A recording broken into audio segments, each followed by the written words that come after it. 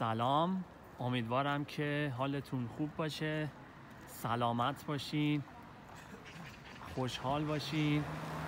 و هر جای دنیا که هستین و ویدیوهای منو تماشا می‌کنید دلتون شاد باشه.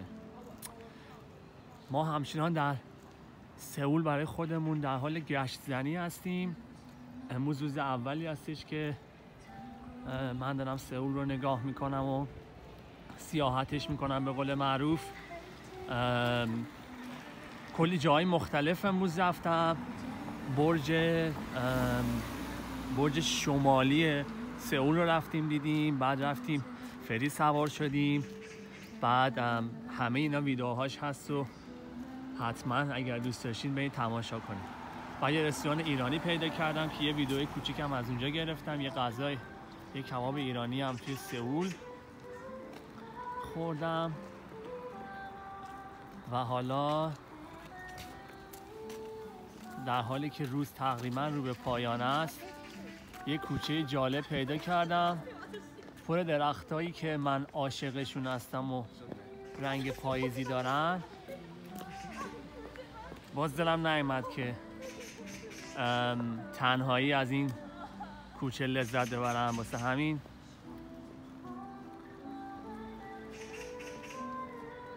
گفتم که یه ویدئوی کوتاه بگیرم و این حس قشنگ رو با شما در میون بذارم.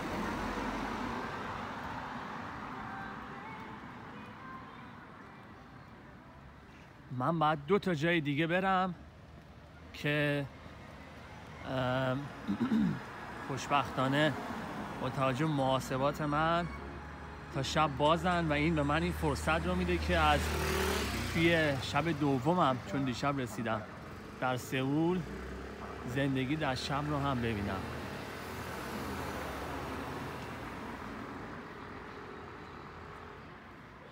پاییز سئول بسیار زیباست.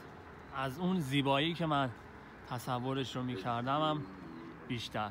کلا سفرهایی که من داشتم معمولا اون انتظاری که داشتم بیش از, بیش از اون انتظاری که من داشتم حس خوب گرفتم و به هم حال خوب داده.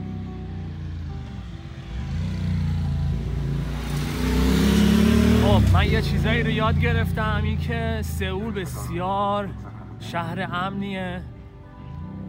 بسیار مردم خونگرم و دوست داشتنی داره. و نکته دیگه که یاد گرفتم اینه که چقدر این درخت خوشگلن. من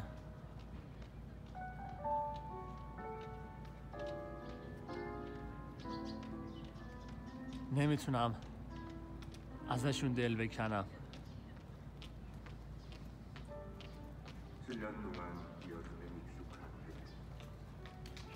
داشتم راجع به مردم کره می‌گفتم اینکه بسیار خونگرم و مهمون نوازن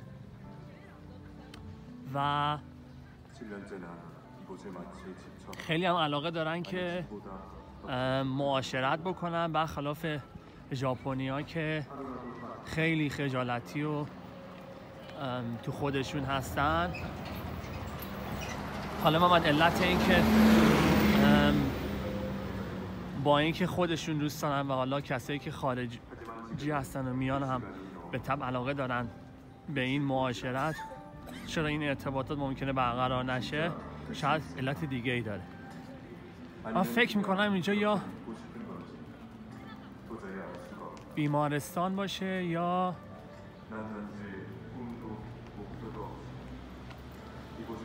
دانشگاه. و حالا هر جا هست که یه پارک خیلی خوشگله.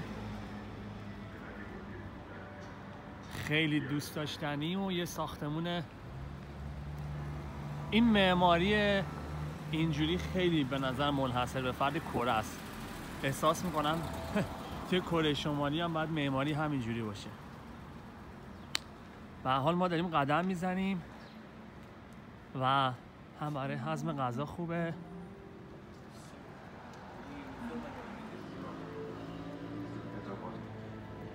من با دو تا دانشجو این دانشگاه داشتم صحبت می‌کردم.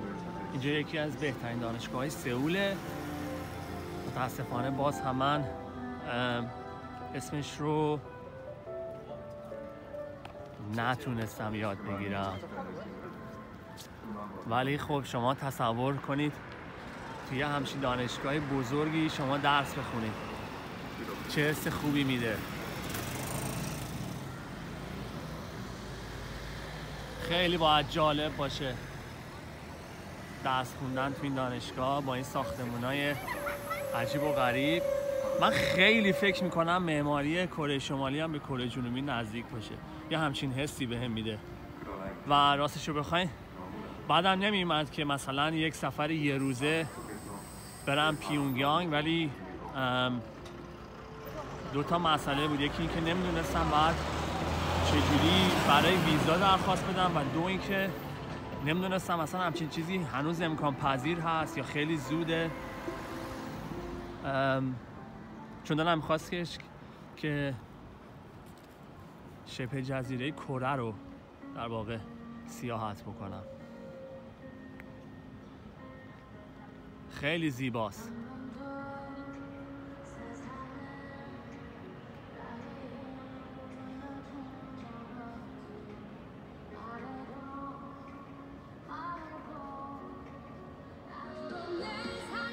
توجه شما رو جلب می‌کنم به شنیدن یکی از آهنگای جالب کره جنوبی به نظرم.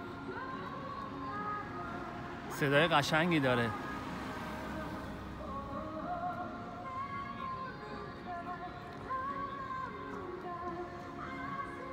خیلی من حس خوب دارم. خیلی.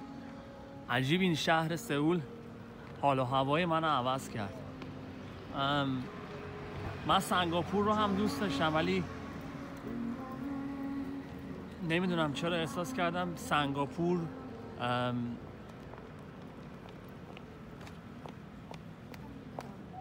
حس زندگی نداره. نمی‌دونم. یه حسی بود که خیلی لاکچری بود. خیلی مردم از بافت شهریش جدا بودن. ولی کره و سئول انگار همه چیز سر جاشه. انگار مردمش به ساختموناش به بافت شهریش میاد. و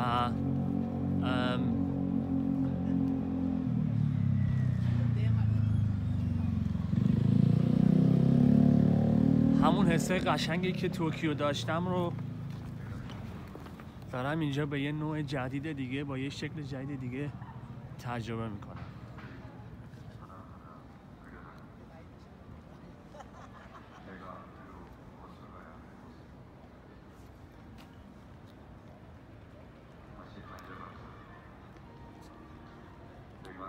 این دانشجوها که داشتم باشون صحبت می‌کردم خیلی سنشون پایین بود و من گفتن که ما نسل جدید و جوونا بسیار کره جنوبی روی زبونشون. زبون انگلیسی به خصوص سرمایه گذاری کرده و مردم به مراتب خیلی بهتر انگلیسی صحبت می‌کنن. تا نسل یه مقداری پیرتر و قدیمیتر. خب ما دیگه کم کم بریم از فضای دانشگاه بیرون و که بریم به سمت جایی که می‌خواستیم بریم. تقریبا هم به ساعت هست. ساعت پنج و نیم هوا کم کم داره غروب میشه.